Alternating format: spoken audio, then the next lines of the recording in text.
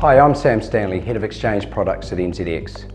Today I'm going to talk about NZX20 Index Futures. A futures contract is an agreement to buy or sell a fixed quantity at a specified future date at a price agreed today. NZX have launched a futures contract on the NZX20, an index we launched in April 2012 at a base level of 3000. The NZX20 is made up of the top 20 stocks by capitalisation on the NZX. It is highly correlated at 99% with the NZX50, the benchmark index. So in other words, it moves in the same direction around about 99% of the time. And like the NZX50, it is representative of the New Zealand economy, so it covers most of the sectors. Each index point is worth $25. Benefits of futures include lower transaction costs.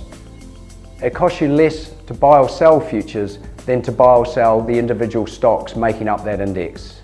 When you buy the NZX20 index future or go long, you agree to buy the NZX20 for a particular date in the future.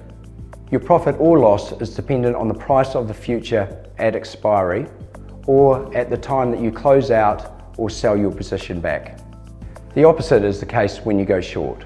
For example, you buy the NZX20 futures contract at 3,500 for three month contract. This gives you a total exposure of 87,500 which is made up of 3,500 at $25 per point. In three months time the index is trading at 3,700. So you have made a profit of $5,000 which is made up of 3,700 less 3,500 where you bought the contract at at $25 per point. It is important to note that you don't need to wait for the expiry of your contract. You can sell it back to the market at any time prior to expiry.